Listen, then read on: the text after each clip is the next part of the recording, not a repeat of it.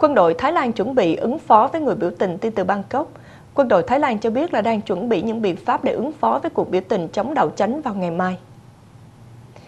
Ngày hôm qua, chỉ huy trưởng quân đội Prayut Chan Ocha nói rằng Thái Lan cần phải mất một năm để cải cách sâu rộng, hàng gắn sự chia rẽ trước khi tổ chức bầu cử. Mặc dù quân đội cấm tập trung quá 5 người, các cuộc biểu tình chống đảo chánh diễn ra hàng ngày tại đài chiến thắng và người biểu tình cho biết là sẽ biểu tình lớn vào cuối tuần này. Phát ngôn viên quân đội Quintai Suvari nói rằng quân đội và cảnh sát đang sẵn sàng để ứng phó với các cuộc biểu tình, mọi biện pháp đang sẵn sàng cho mọi tình huống xảy ra.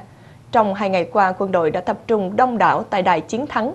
Phát ngôn viên Nutawat Chancharion của quân đội nói rằng quân đội tôn trọng quan điểm của người dân, nhưng quân đội yêu cầu dân chúng đặt quyền lợi quốc gia lên hàng đầu. Quân đội không muốn cầm quyền, nhưng cần phải giải quyết những vấn đề của quốc gia. Chính trị Thái Lan đã phân cực giữa những người ủng hộ hoàng gia và những người ủng hộ cựu Thủ tướng Thaksin Shinawatra. Những người ủng hộ hoàng gia cho rằng sự ủng hộ của người nghèo và nông thôn dành cho gia đình Shinawatra là một mối đe dọa cho trật tự cũ của Thái Lan. Tướng Prachut đã đưa ra ba giai đoạn để ổn định quốc gia. Giai đoạn thứ nhất là hòa giải mất khoảng 3 tháng, sau đó là cải cách chính trị và tổ chức bầu cử. Hai giai đoạn sau sẽ mất một năm hay lâu hơn tùy theo tình hình.